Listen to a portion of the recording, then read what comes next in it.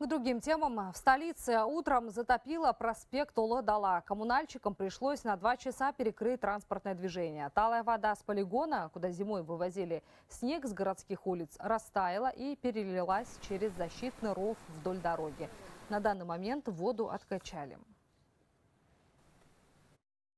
қыста полигонға қар Здесь на полигоне было много снега. Талая вода разлилась на дорогу. Мы откачали 2000 кубов, пригнали 5 мотопомп, 18 цистерн. Сейчас ситуация нормализовалась. Проспект открыт для проезда автомобилей.